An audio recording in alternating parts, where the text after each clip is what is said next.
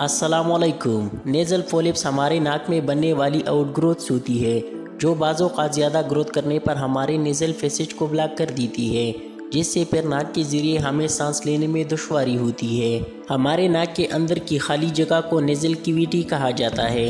Nasal कीविटी की lining में mucosal sales मौजूद होते हैं, जो म्यूकस सीक्रेट करते हैं, जिससे हम जब सांस लेते हैं तो सांस नम होकर हमारे लंग्स में जाती है।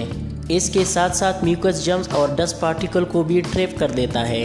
लेकिन बाज़ अवत किसी एलर्जी या इन्फेक्शन की वजह से म्यूकोसल लाइनिंग में इन्फ्लेमेशन होने लगती है। जब इन्फ्लेमेशन काफ़ी ज़्यादा हो जाए तो म्यूकोसल लाइनिंग से कुछ आउटग्रोथ सी निकलने लग जाती है, जो नेज़ल फोलिप्स कहलाती है।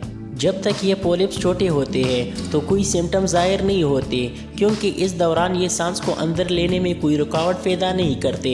मगर जब इनकी ग्रोथ काफ़ी ज़्यादा हो जाए तो ये सांस में रुकावट पैदा करते हैं। इसलिए इन नज़ल फोलिप्स को ट्रीट करना बहुत ज़रूरी है। नेज़ल फोलिप्स को ट्रीट करने के लिए या तो मेडिकेशन दी जाती है। इन मेडिकेशन में ज़्यादातर स्टीराइड शामिल होते हैं, जिनकी इस्तेमाल से फोलिप्स सुकल जाते हैं। मगर जब मेडिकेशन से पॉलिप्स ट्रीट न हो या पॉलिप्स का साइज़ बहुत बड़ा हो तो फिर इन पॉलिप्स को सर्जिकली रिमूव किया जाता है। पॉलिप्स को सर्जिकली रिमूव करने के प्रोसेस को पोलीपेक्टोमी कहा जाता है। पोलीपेक्टोमी में सर्जन सबसे पहले पेशेंट को जनरल इनिस्थीजिया देता है।